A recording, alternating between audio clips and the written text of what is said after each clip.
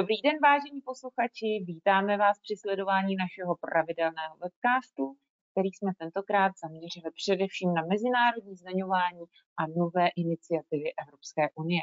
Moje jméno je Marie Velflová a ráda bych vás přivítala a představila vám obsah našeho dnešního povídání a také kolegy, kteří se mnou pro vás tento webcast připravili. Na úvod já tedy skutečně velmi krátce zhrnu aktuální stav legislativního procesu v otázce konsolidačního balíčku. Bude to opravdu velmi stručné, protože jsme o něm hovořili na našem minulém setkání, takže to je jen taková aktualita. No a potom předám slovo kolegyni Tereze Petrášové, která je naším expertem na mezinárodní zdaňování a představí vám novinky právě z této oblasti. No a náš dnešní webcast zakončí, jako už je pravidlem, a z oblastí dotací a kolega Daniel Trubela. Tak, samozřejmě stále platí, že pokud budete mít v průběhu webcastu nějaké dotazy, určitě směřujte přes náš chat. Pokud to bude možné, odpovíme vám hned během našeho vysílání, případně se k vám potom vrátíme a na individuální bázi. Tak, to je zhruba na úvod všechno a nyní už se podívejme na konsolidační balíček a jak to vypadá v legislativním procesu, který je tedy a, a jaký je tedy aktuální stav toho návrhu. A konsolidační balíček jako takový byl načten do poslanecké sněmovny, najdete ho pod tiskem 488 a jak jsme vlastně již, jak jsem už zmiňovala, o tomhle návrhu jsme si povídali na našem posledním webcastu v září. Nicméně od té doby prošel ten návrh několika dalšími změnami. No a kde tyhle změny hledat, jsem vám vypsala právě na tomhle slajdu. Konkrétně byl načten vládní pozměňovací návrh, který načetl rozpočtový výbor sněmovny jako tisk číslo 488 4, ale ani po tomhle vládním návrhu pozměňovacím nebylo všechno podle představ. A tak následně poslanec Jiří Havránek načetl vládní pozměňovací návrh k předchozímu vládnímu pozměňovacímu návrhu a to jsou tyhle ty dvě čísla, která tady máte, to znamená to číslo 3144 a 3149. A proč to tady tak složitě vysvětluji? Vysvětluju to tady proto, a protože vlastně pokud budete hledat různé informace a udůvodnění a například a především k aktuálně navrhované podobě benefitu, tak potom je vlastně potřeba hledět do všech těchto dokumentů, tak, jak jsem vám je teď vyjmenovala, protože například právě zaměstnanecké eh, benefity se vlastně v průběhu té doby měnily na etapy a každý tenhle dokument a vlastně určitým způsobem přístup k těm zaměstnaneckým benefitům a, a mění. Tak, uh, takže uh, abyste věděli, kde ty informace najdete. Uh, určitě víte, že aktuálně se o konsolidačním balíčku stále v poslanecké sněmovně jedná. Aktuálně probíhá třetí čtení, které tedy ještě nebylo ukončeno a bude pokračovat tedy nejspíš až příští středu. A to znamená, že zatím teda není jasné, jaké změny tím legislativním procesem projdou. Nicméně je zřejmé, že ty vládní pozměňovací návrhy mají, a to i teda podle vyjádření politických představitelů, asi největší šanci na to, aby byly odsouhlaseny a prošly tím legislativním procesem.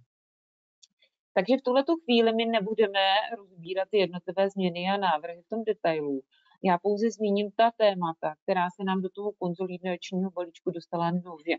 Buď se nám tam dostala nově, anebo jsou podstatně upravena. A, ale pro další informace k téhle opravdu jako rozsáhlé novele bych vás určitě pozvala na naše podzimní semináře, kde bude konsolidační balíček jasně ústředním tématem, protože těch změn je tam opravdu mnoho. Budeme to mít rozděleno na část DPH a na část daně z příjmu právnických osob, protože to je všude tam a kam ten konsolidační balíček jasně sahá. Tak, takže tolik eh, tomu legislativnímu procesu eh, teď jenom ve zkratce ty hlavní změny, opravdu ty hlavní, které právě ty vládní pozměňovací návrhy přinesly. Určitě už jsem mluvila o zaměstnaneckých benefitech.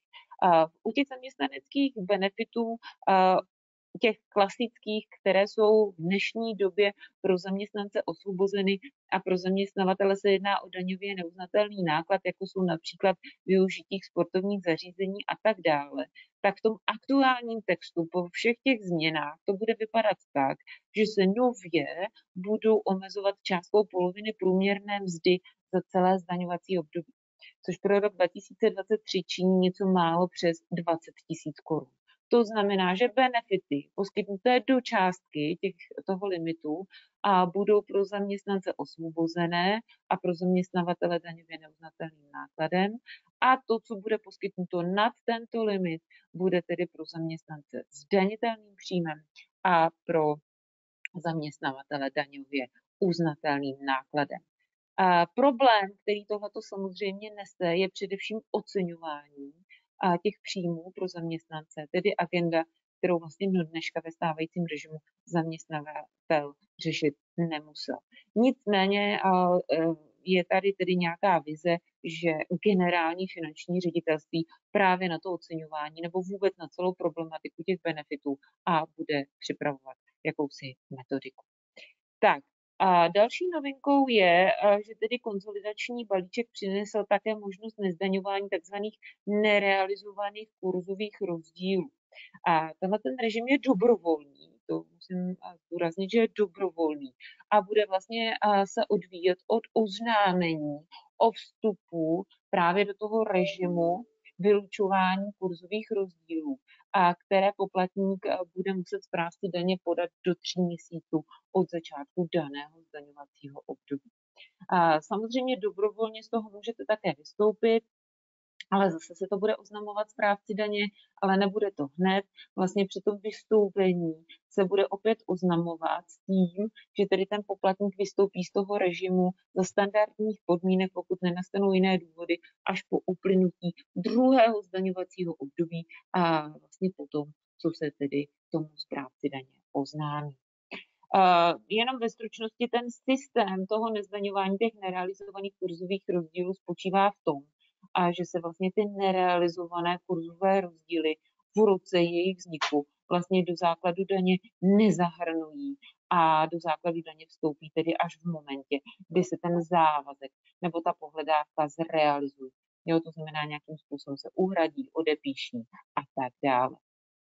Tak, určitě nejvíce diskutovaným tématem jsou, je bez sporu teda funkční měna. To znamená možnost účetních jednotek vlastně účtovat v jiné měně, než je česká koruna.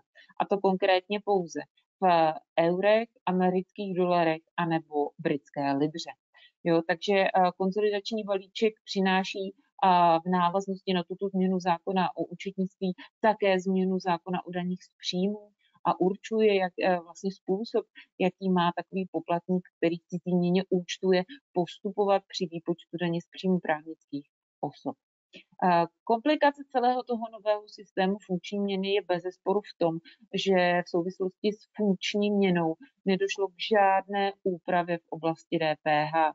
A, takže proto pro plátce DPH bude vedení účetnictví v cizí měně o maličko složitější, ale to je asi téma, které dneska nerozebereme a proto opravdu znovu připomínám, že teď v polovině října budeme mít vlastně velký DPH seminář, kde právě bude i funkční měna a její dopady do daní a předmětem podrobné debaty. Takže určitě, pokud eh, plánujete, že byste uvažovali o funkční měně a jste pláci DPH, určitě eh, je dobře, abyste na ten seminář přišli a poslechli si ty dopady eh, a vlastně by další aspekty, které bude potřeba ve vašem systému nastavit. Tak, takže tolik ve stručnosti k těm největším změnám, které přinesly vládní pozměňovací návrhy. Uvidíme tedy, co projde třetím čtením a v tuhle chvíli tedy předávám slovo Tereze a mezinárodnímu zdanění. Dobré dopoledne ode mne ještě jednou. Já jsem si dovolila připravit s koncem roku nějaké aktuality právě z oblasti mezinárodního zdanění, které se týkají primárně několika oblastí. A zejména je to schrnutí stavu implementace takzvaného pilíře 2, neboli globální minimální daně, což je nová globální povinnost. Mluvili jsme o tom již i v předchozím roce, i v tomto roce, postupně o tom, jak se tato povinnost vyvíjí od návrhu a zveřejněných dokumentů výkladů na úrovni OECD po návrh směrnice Evropské unie, kterou mají právě členské státy do konce tohoto roku povinnost transponovat transponovat. Jedná se o směrnici eh, číslo 2022 lomeno 2523 o zajištění globální minimální úrovně zdanění nadnárodních skupin podniků a velkých vnitrostátních skupin v EU. Ten název je dlouhý, příšerný, já to s dovolením budu zkracovat jako globální minimální daň, abychom se tady nezamotali eh, v pojmech a dlouhých větách. A České republice právě ten přístup k transpozici byl zvolený samostatným zákonem, jmenuje se to zákon o dorovnávacích daních, je to sněmovní tisk 515 a, a aktuálně nebo prošel prvním čtením v poslanecké sněmovně a čeká na další proces.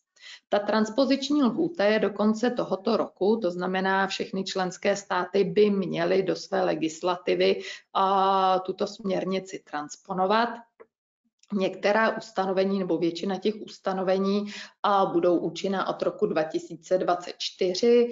A to sekundární druhotné doplňkové pravidlo, někdy také zkracované zkratkou UTPR, pravidlo pro nedostatečně zdaněný zisk v české terminologii, a tak to je odsunuto zatím od roku 2025, a, ale jak jenom krátce zmíním, tak a, samozřejmě ten stav té transpozice v EU a i jako zavedení do, loga, do, do lokálních legislativ v jiných, v jiných zemích a zejména velkých ekonomikách po světě na různých úrovních.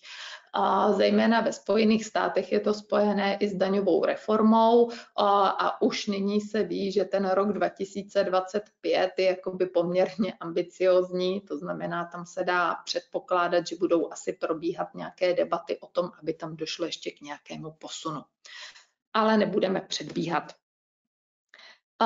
Ta globální minimální daň je velmi komplexní problematika. V podstatě jenom připomenu, že by měla dopadat na skupiny velké, nadnárodní, Evropské unii i vnitrostátní. V našem prostředí to budou vždy mezinárodní skupiny, které dosahují obratu nad 750 milionů euro je to stejná hranice jako pro country by country reporting, byť tam metodicky může být jakoby lehce jiný přístup k tomu výpočtu nebo stanovení té hraniční povinnosti. A tudíž pokud vlastně víte, že jste v rámci skupiny jako česká ceřiná společnost nebo v té struktuře se zahraničním vlastníkem, tak z největší pravděpodobností můžete očekávat, že skupina za vámi přijde s tím, že minimálně bude chtít se snažit ověřit, a v jakém stádiu ta česká legislativa je, jakým způsobem jsme k té transpozici přistoupili, jaký je aktuální stav a, a zjišťovat další věci pro to, aby vlastně byla schopna schopná zajistit celý ten reporting za skupinu. Původní úvaha, že vlastně by měla a ten reporting naplňovat a odvádět případný rozdíl od efektivní sazby 15%, což je ta globálně odsouhlasená výše té minimální daně, a tak e, měla zajistit vlastně ta konsolidující entita. Někdy se taky zkracuje anglickou zkratkou UP. A je to v podstatě ta entita, na jejíž úrovni probíhá konsolidace tom našem prostředí, s čím se setkáváme, tak samozřejmě problém je s tím, když máte skupiny, které se sklahdají nejen jakoby se stoprocentních participací, jsou tam i různé struktury založené na transparentních entitách, joint venturech, minoritních podílech a podobně. To znamená, někdy je opravdu problém správně prohlédnout a stanovit si, jak ta skupina je postavená, jak se ty pravidla budou aplikovat, v jakých zemích jsou ty jednotlivé entity a, a jak na tom právě ty země jsou právě s transpozicí těch pravidel nebo s zavedením těch globálních pravidel do svojí legislativy. Aktuálně jsme třeba se ptali kolegů v Maďarsku, protože tam i vzhledem k výši statutární daně 9%, a tak se dá očekávat, že firmy, které působí tam, a mohou z logického důvodu mít trochu problém dosáhnout těch 15% efektivní daňové sazby a, a vlastně ten návrh zatím teprve jakoby je před publikací. Jo, to znamená, tam ani jako dá se vycházet z nějakých předpokladů, a, ale vím, že ve spoustě státech prostě ten návrh ještě třeba ani publikován nebyl, anebo byl publikován a v současné chvíli se uh, projednává, diskutuje a je opravdu otázkou, jestli všechny státy to stihnou transponovat do konce toho roku. Když se ale vrátím zpátky k, té, eh, k tomu českému zákonu o dorovnávacích daních, tak jak jsem zmiňovala, je to samostatný zákon. Co samozřejmě jako velmi problematické je, že a ta problematika globální minimální daně je velmi komplexní. Velmi komplexní, co se týká zaváděných termínů, toho konceptu, různého popisu těch specifických situací a i právě toho výpočtu té efektivní daně.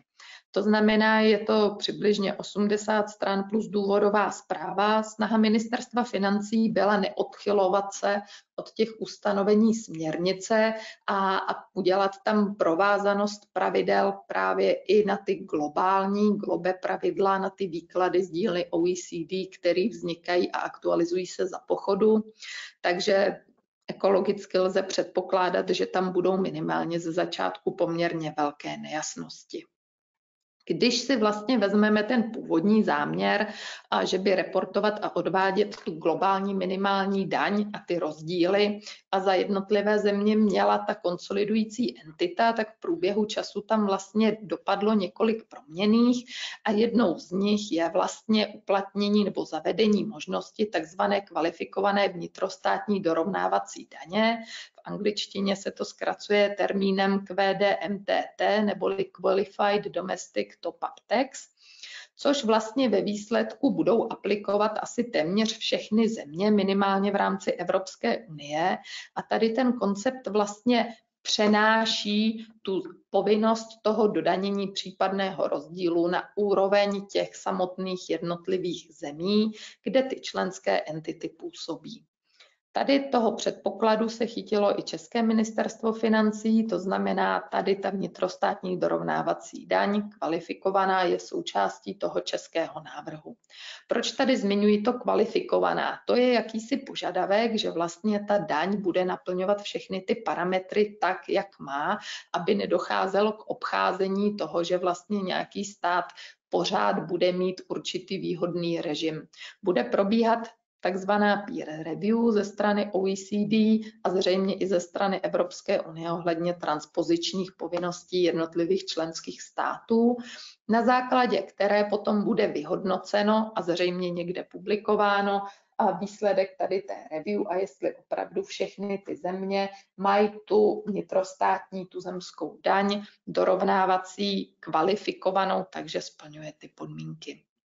V tom případě vlastně případný rozdíl bude dodaněn v našem případě tady v Čechách, což sebou přináší z našeho pohledu trošku nejasnou situaci v tom ohledu, že ten přístup a to dodanění probíhá na takové úrovni jako přes země, to znamená per country.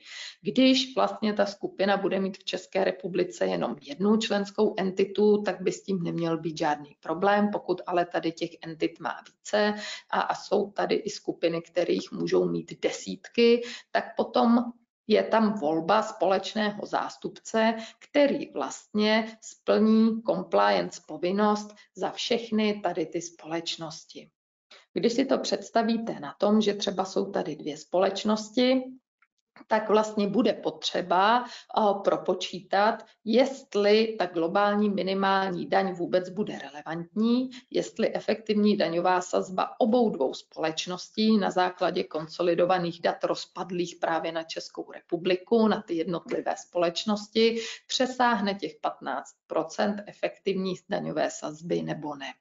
Problém může být u pobítkářů a, a u firm, které ve velkém využívají odpočet na základu daně na takzvaný výzkum a vývoj, případně se to samozřejmě týká i jiných odpočtů, ale když přihlédnu jakoby k nějaké materialitě tady těch slev a odpočtů, tak je to primárně odpočet na výzkum a vývoj a pobítky, které vlastně přímo snižují tu efektivní daňovou sazbu.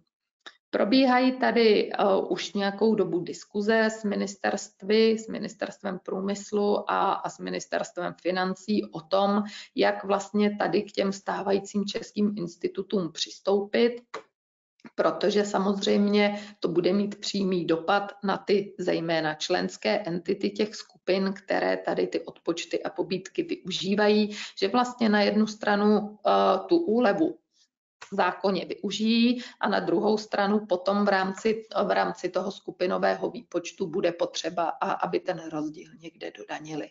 Tam je to zatím ještě s otazníkem, jestli minimálně ve vazbě na ty pobídky bude udělaná nějaká změna, ale rozhodně to není něco, co by se řešilo v tom zákoně o dorovnávacích daních. Bude případně potřeba udělat změnu stávající legislativy, která se týká zákona o investičních pobídkách, respektive zákona o daních z příjmu, kam se tady ty pobídky a odpočty propočítávají.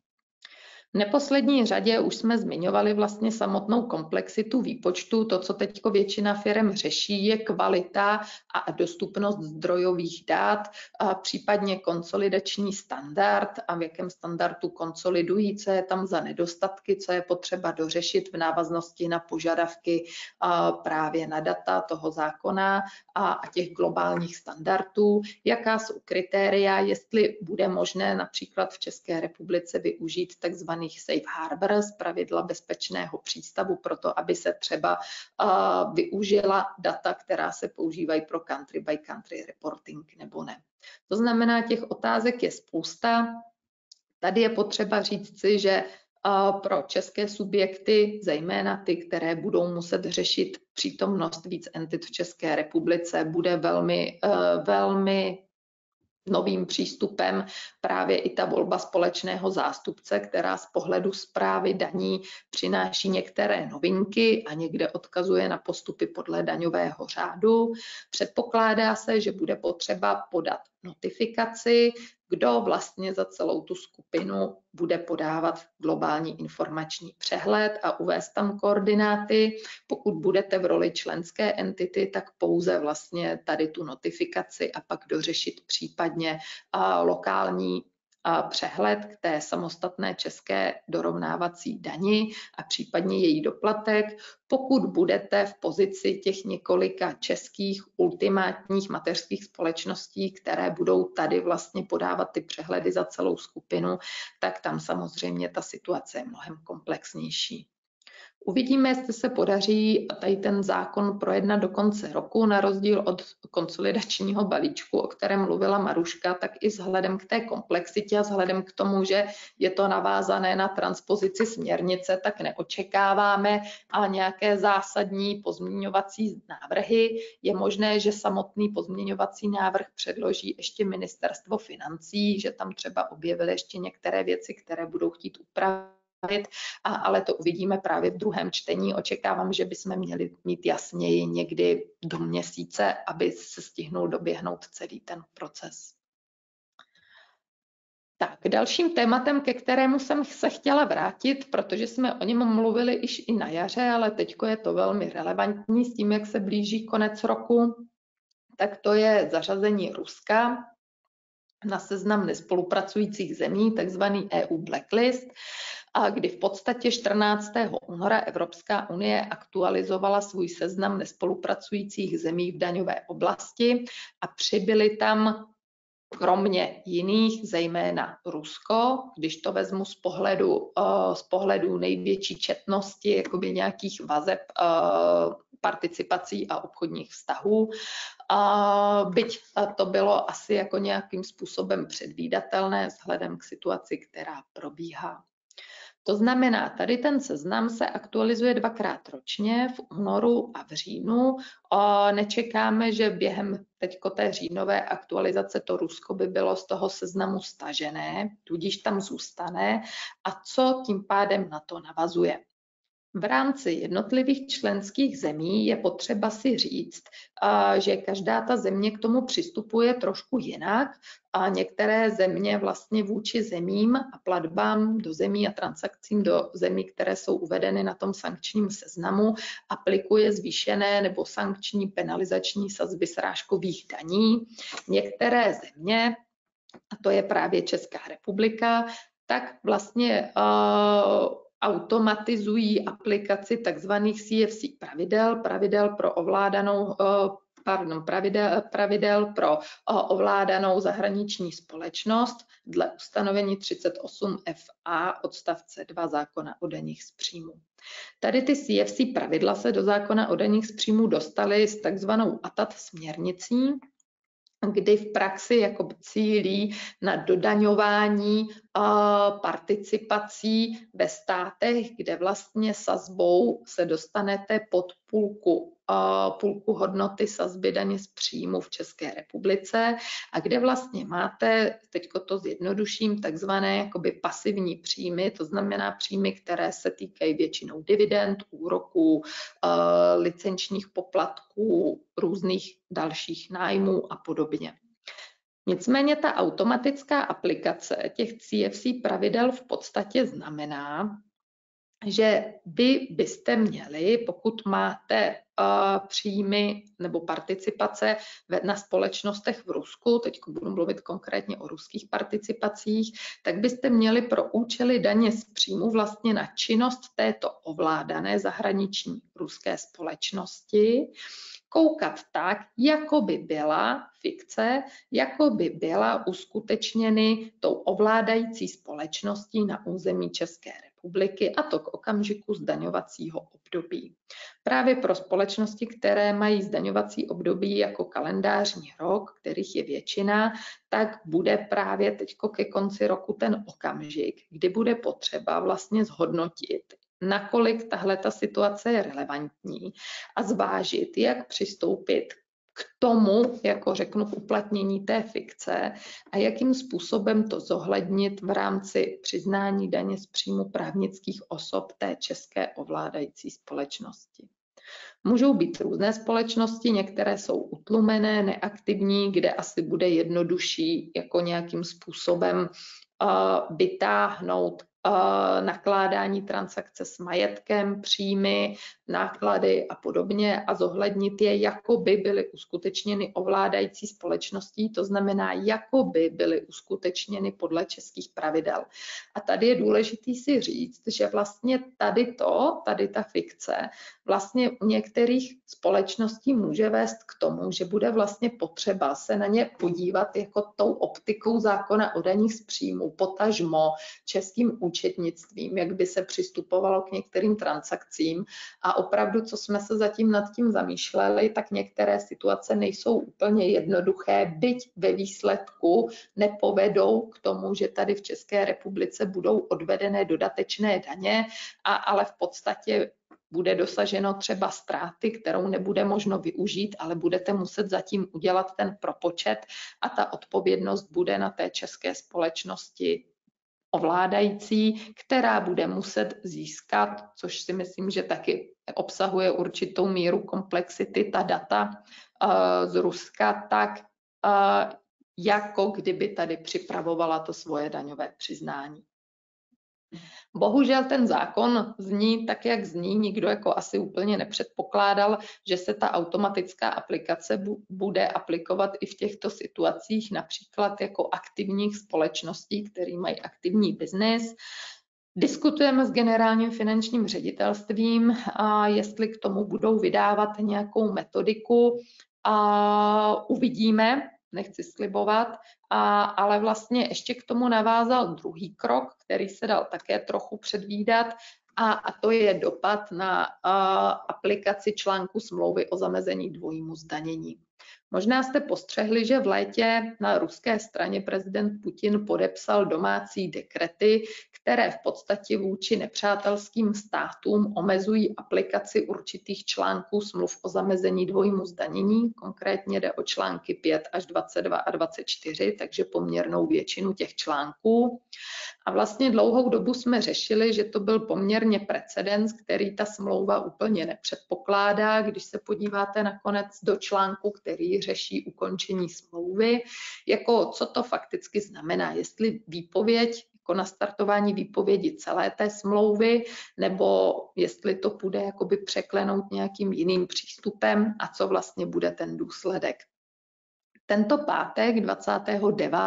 září bylo vydáno sdělení Ministerstva financí k provádění smlouvy o zamezení dvojímu zdanění mezi Českou republikou a Ruskem, kde vlastně v návaznosti na to domácí opatření, na to vydání dekretu Česká republika doplnila, že se pozastavují i aplikace článků 23 a 25, protože z logiky smyslu nedává tím pádem většího významu a aby se třeba aplikovala metoda vyloučení dvojího zdanění.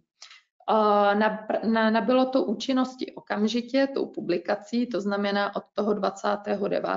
září se relevantní články neprovádí, aplikuje se teda ustanovení nebo sazby dle domácí legislativy. Tady jenom připomenu, týká se to stálých provozoven, týká se to právě pasivních příjmů, ale i aktivních příjmů, prostě různých druhů příjmů, na které se bude aplikovat domácí legislativa.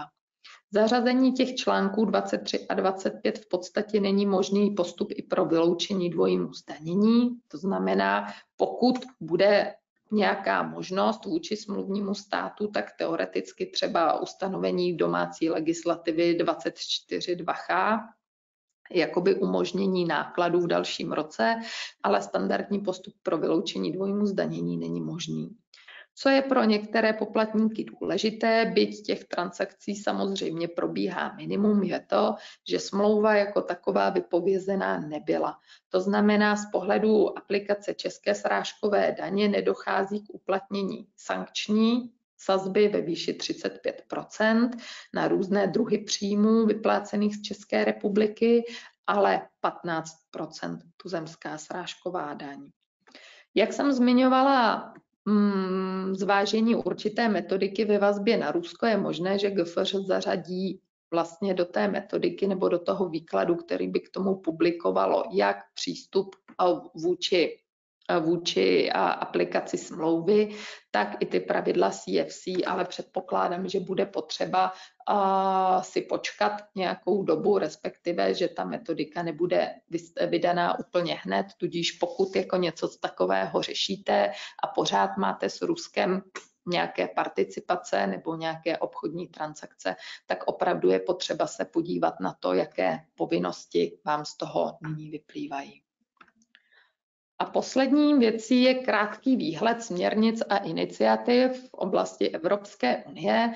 Evropská unie si oblíbila některé zkratky, přemýšlela jsem, jak to tady poskládat, jestli by to mohlo mít i nějaký uh, slovotvorný smysl, ale nakonec jsem to nechala a nechala podle toho tak, jak uh, považuji ty směrnice nějakým způsobem za nové.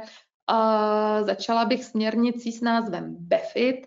BEFIT je v podstatě už několikátý pokus Evropské komise přijít se společným systémem zdanění s konsolidovaným daňovým základem v oblasti daně z příjmu právnických osob. V podstatě vy z vás, kteří se v této oblasti pohybujete už déle, víte, že už bylo několik tady těch návrhů, na kterých se nikdy členské státy nesešly, protože je tam potřeba jednomyslného hlasování a zatím nikdy doposud nebyly členské státy schopné se domluvit na veškerých parametrech toho, jak by ten společný systém zdanění měl fungovat. Opět je předpoklad, že by to bylo povinné pro společnosti, pro skupiny, které dosahují toho, té hraniční hodnoty 750 milionů euro. Předpokládaná účinnost je od roku 2028 a, a protože jsou tam v tom i některé nové koncepty, tak počítám, že se do detailu tady na tu směrnici podíváme výhledově.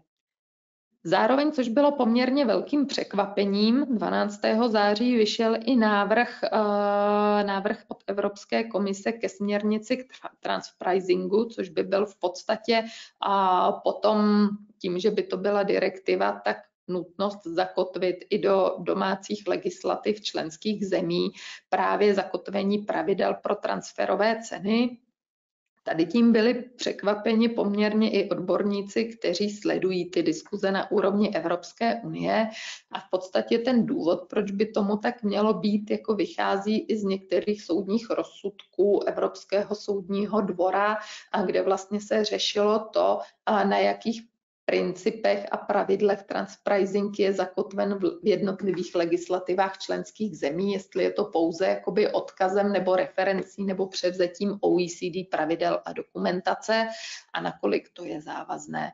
To znamená, to je něco jakoby velmi překvapivého, dalšího, co se předpokládá, že nad tím bude poměrně široká diskuze. Velmi zajímavou zkratku má návrh směrnice HOT, neboli Head Office Tax System. V podstatě tady ta směrnice za mě míří k určitému zjednodušení, zejména pro malé a střední podniky. Je to možnost volby, kdy vlastně přes centrálu v jedné zemi v praxi vidíme, že firmy často řeší, že eh, administrativní, daňové, různé compliance povinnosti k tomu podnikat v jiné zemi jsou eh, až někdy obludné. A, a tady ta směrnice by měla přinést to, že budete mít něco jako one-stop shop, to znamená v zemi, kde zřejmě jakoby máte největší prezenc nebo máte centrálu, a tak tam byste měli možnost reportovat, odvádět a platit i daně pro jiné země, kde třeba byste měli jenom stálou provozovnu. Za mě je to velice revoluční, i co se týká návrhu na účinnost od roku 2026 a myslím si, že ne všechny daňové zprávy jsou tady na to v oblasti přímých daních připraveny, a, ale uvidíme, diskuze nad tím určitě bude velká na ECOFINu. Poslední dvě směrnice nejsou úplně nové, už jsme je tady zmiňovali. A tento rok v podstatě se vydal návrh směrnice takzvané FASTR. A tato směrnice neaktualizuje pravidla směrnice parent subsidiary a interest royalty, to znamená z pohledu srážkové daně jako takové, ale v podstatě by měla nějakým způsobem přinést zjednodušení procesu uh, aplikace srážkové daně, zejména z pohledu osvobození a refundace v jednotlivých členských zemích, kdy vlastně byť jakoby můžete dosáhnout osvobození nebo poměrně velké redukce sazby srážkové daně a právě na základě principů zavedených dřívějšími směrnicemi, tak v některých případech je to, řeknu, velmi zdlouhavé až nemožné. S klienty hodně často řešíme přístup třeba v Polsku, v Německu a podobně.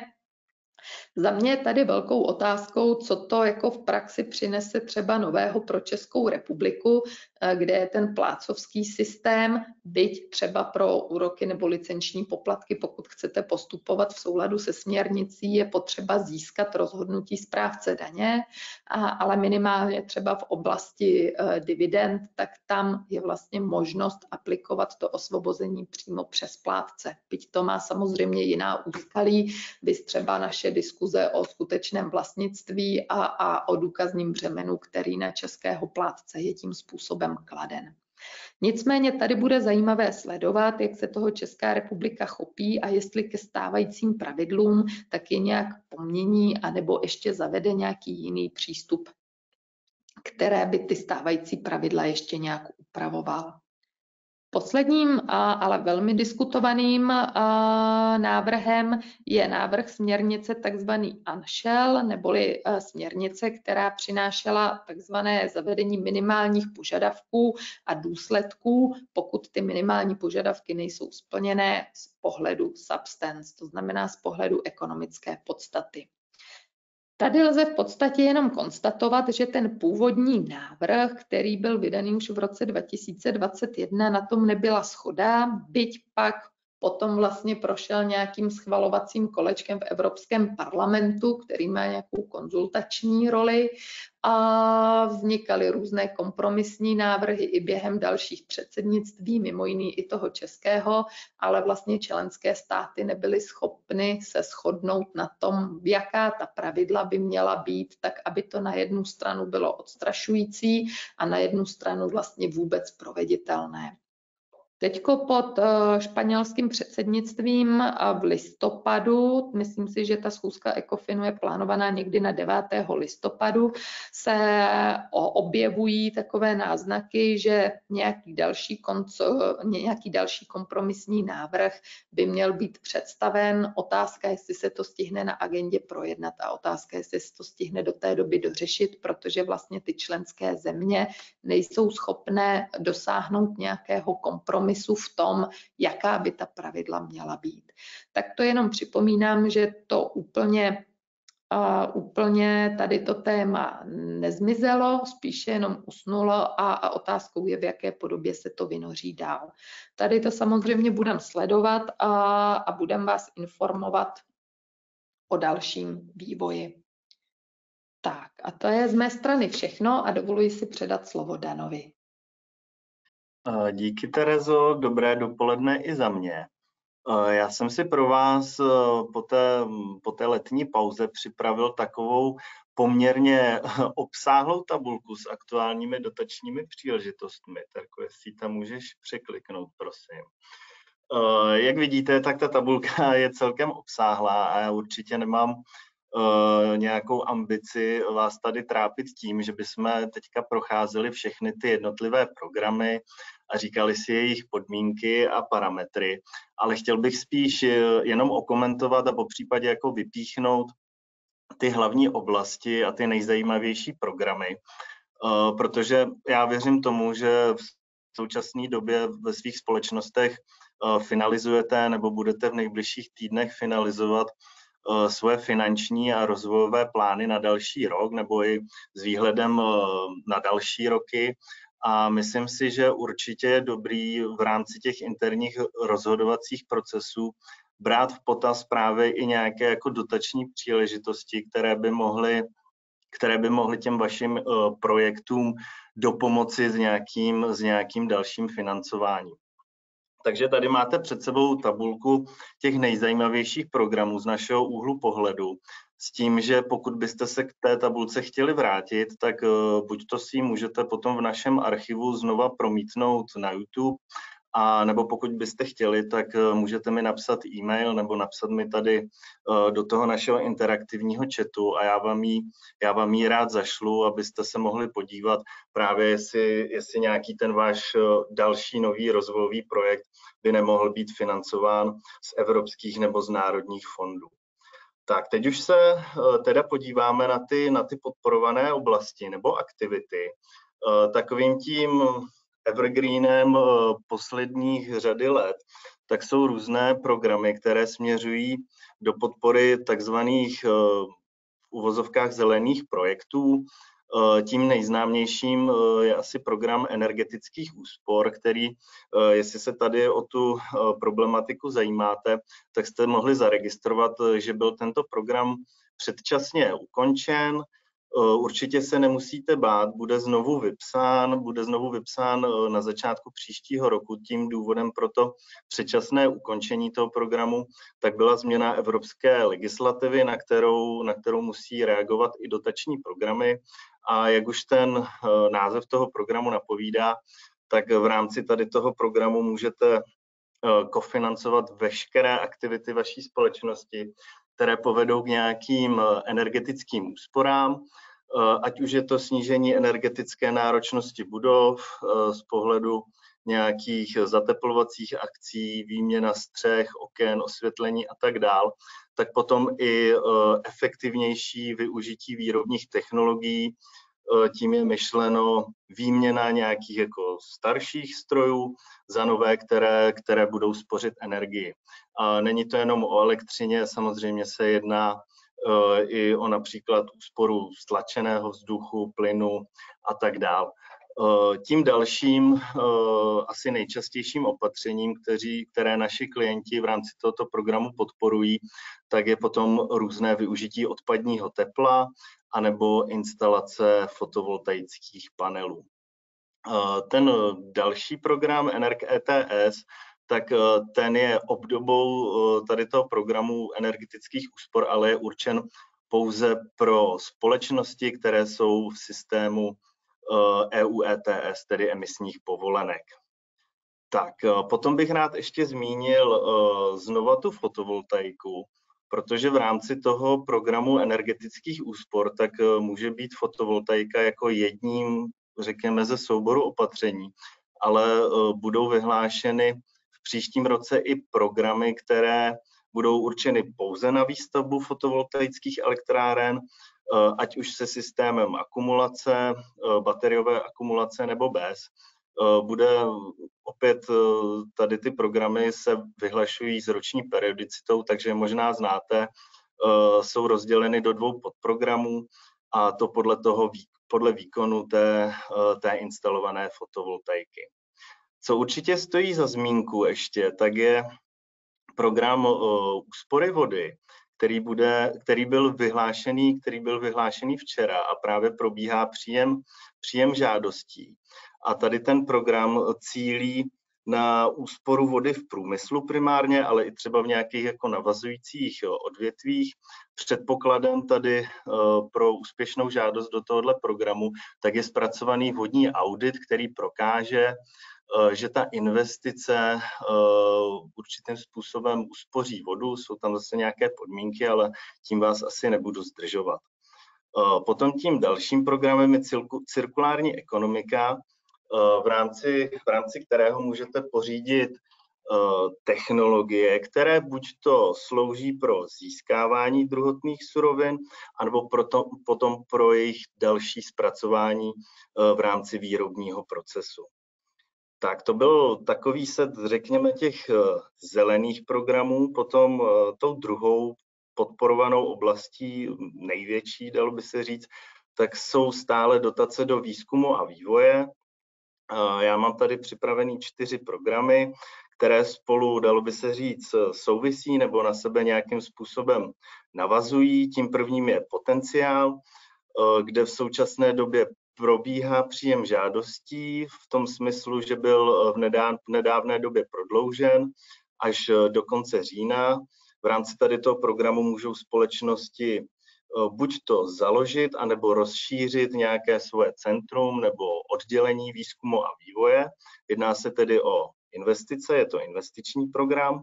Potom tady máme program aplikace. Eh, tady z toho programu společnosti můžou můžou kofinancovat provozní náklady toho svého vývojového oddělení nebo celého centra, takže primárně se jedná o mzdy těch výzkumně vývojových zaměstnanců. Tady k tomu, eh, tady k tomu programu aplikace tak existuje i paralela eh, v podobě daňového odpočtu na výzkum a vývoj. Toho se lehonce dotkla, eh, lehonce dotkla Terka ve, ve své části webcastu. Opět tam jsou jako jemné niance a záleží jako hodně na individuálním posouzení, jestli se pro tu kterou společnost hodí přímá podpora v podobě dotace, anebo tedy ta uh, daňově odečitatelná položka. Tak, uh, potom dalším programem, nebo dalšími dvěma programy, tak jsou inovace a technologie, s tím, že Tady ty programy jsou opět investičního charakteru, ale už se jedná o inovativní nebo o pořízení inovativních technologií přímo do výrobního procesu. Eh, řeknu, ty inovace a technologie se týkají primárně eh, hardwareu v uvozovkách, tedy, tedy nových strojů, zařízení a tak dál. Ale potom tady máme i programy virtuální a digitální podnik, které směřují spíše, eh, spíše tou cestou různých ICT produktů. Opět to sice může být hardware, ale eh, i z velké části software a tady ty programy by měly podpořit prostřednictvím automatizace a digitalizace nějaký, nějaký rozvoj, nějaký rozvoj společností právě tady v těchto oblastech. No a tou poslední oblastí, kterou bych zmínil, tak ta se týká čisté mobility, s tím, že se, že se připravují nebo jsou v přípravě programy, které tedy budou cílit na tu stranu té infrastruktury dobíjecí, ať už pro elektromobily nebo pro, nebo pro automobily s vodíkovým pohonem. Určitě vás napadne otázka, kdy, kdy bude nějaký program, který, ze kterého budou moci společnosti pořídit přímo elektromobily, tak tenhle program už je dlouhou dobu, nebo jim se říct několik let v přípravě a máme informace, že by Eh, že by měl být konečně vypsán v příštím roce. Eh, když se podíváte na ty další sloupce, na ty další sloupce té tabulky, tak tam máte uvedenou míru podpory, právě ten termín eh, příjmu žádostí, který je bohužel zatím pouze jako předpokládaný, pokud tam není stanovený ten pevný datum a i informace o tom, kdo jsou ty oprávnění žadatelé. Eh, jak vidíte, tak eh, ta míra podpory, eh, vždy je tam uveden nějaký rozptyl nebo nějaké maximum, vždycky to záleží primárně na tom, jaké je velikosti ten podnik, což souvisí i s tím oprávněným žadatelem, protože ne všechny programy jsou pro všechny typy společností. Bývá to zpravidla omezeno, jak vidíte, regionálně, protože většina z těch, většina z těch programů, které tady jsou uvedeny, tak jsou pouze pro mimopražské podniky, s tím, že důležitá tady pro to kritérium tak je samotná realizace toho projektu. V praxi to tedy znamená, že společnost může mít sídlo v Praze, ale ta realizace toho projektu řeknu třeba ty výrobní kapacity nebo to výzkumně vývojové centrum, tak ale musí být, eh, musí být mimo hlavní město. No, tak eh, to bylo hodně v, hodně v kostce to, co se pro nás eh, nebo pro vás ve vašich společnostech je teďka aktuální oblasti dotací. Jak jsem říkal na začátku, pokud byste tady tu přehledovou tabulku Eh, chtěli mít, eh, podívat se, jestli nějaké ty svoje projektové záměry by nešly financovat, tak mi určitě napište, já vám ji pošlu a eh, v případě, že by se tam nějaká příležitost, která by pro vás byla relevantní, objevila, tak určitě můžeme už prokonzultovat ten, ten individuální případ a říct si třeba i ty, i ty detailní podmínky a ty detailní parametry těch jednotlivých výzev a programů. Tak to je z mé strany všechno a já už teďka předám slovo zase zpátky Tereze, která vás pozve na další akce, které, které chystáme. Tak z našich akcí, kterých je samozřejmě daleko víc, Maruška už je také zmiňovala, tak abych se zbytečně neopakovala, ale vlastně tím gro, co děláme každý rok, tak je, jsou tradiční podzimní celodenní semináře, jak na DPH, který proběhne 19.10. a kromě změn v zákoně o DPH výkladech se tam právě bude diskutovat i, i dopad na plátce z pohledu možnosti zavedení té funkční měny. 2.11. je pak opět celodenní seminář tradiční k daně z příjmu k daní z příjmu, kde vlastně jako celým dopoledním tématem by se měl prolén, prolínat balíček, změny, které, který přináší, doufáme už v nějaké finálnější podobě. Bude tam diskuze s hosty z Ministerstva financí a generálního finančního ředitelství, dotkneme se právě oblasti těch benefitů, dotkneme se navrhovaných změn, které dopadají, ať už letos nebo potom s odkladem na příští rok, na různá osvobození a podobně. Odpolední část potom bude věnovaná právě problematice mezinárodního zdanění, mimo jiné, kde budou opět hosté z ministerstva financí a, a budeme diskutovat o praktických úskalích právě implementace pilíře 2, o těch nových opatřeních a například i, i o dalších institutech, který přináší jak balíček nebo nové smlouvy o zamezení dvojího zdanění. Takže srdečně vás zveme, na tady ty akce, které budou jak fyzicky, tak i hybridně s možností online a, více informací můžete získat buď na vyžádání, anebo jednoduše naskenováním tohoto kódu. A myslím si, že tím jsme eh, dosáhli eh, jak mentální, tak i časové kapacity dnešního webcastu. Dovolila bych si vám jménem všech přednášejících moc poděkovat za účast a budeme se těšit příště naslyšenou a poprosila bych vás ještě o zpětnou vazbu, která vám vyskočí na vašich obrazovkách k tomu dnešnímu webcastu. Moc děkuji, mějte se hezky. Naschledanou.